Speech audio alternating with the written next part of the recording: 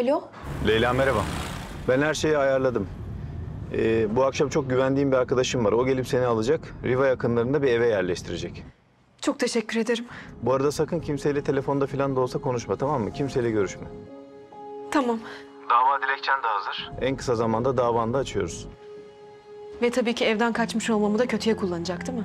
Ya tabii ki kesin kullanacaktır ama boşuna kaçmadığını ispat edeceğiz tabii. Bütün bu olanlardan sonra hala bana iyilik yapıyorsunuz ya. İyi ki varsınız Kaya Bey. Çok acı çektin Leyla. Çok üzüldün. Yani bir an önce her şey geride kalacak. Zaten dava açıldıktan sonra uzaklaştırma kararı alacağız merak etme. Umarım her şey bir an önce biter. Bu belirsizlikle ve korkuyla yaşamak çok zor. Biliyorum Leyla az kaldı. Bu akşam kaçta geleceklerini sana mesaj atacağım tamam mı? Telefonu da lütfen yanında tut. Tutacağım merak etmeyin. Hoşça kalın. Görüşürüz.